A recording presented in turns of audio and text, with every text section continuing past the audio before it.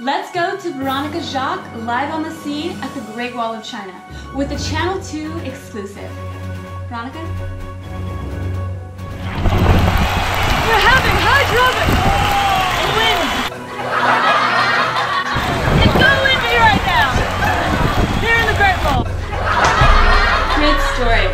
Compelling and rich. Well, that's going to do it all for us today at Channel 2 News. My name is Veronica Jacques, and you.